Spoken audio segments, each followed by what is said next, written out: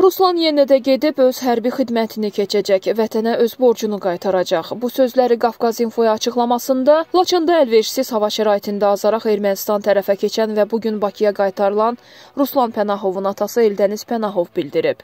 Mən ilk öncə ölkə başçısına dərin təşəkkürümü bildirirəm. Mənim övladım əsir düşmüşdü. Şükürlər olsun öz torpağına, öz vətəninə sağ-salamat qayıtdı. Oğlumun əsirlikdən xilas olmasında zəhmət çəkən hər kəsə dərin minnətdaram. Eldəniz Pənahov əlavə edib.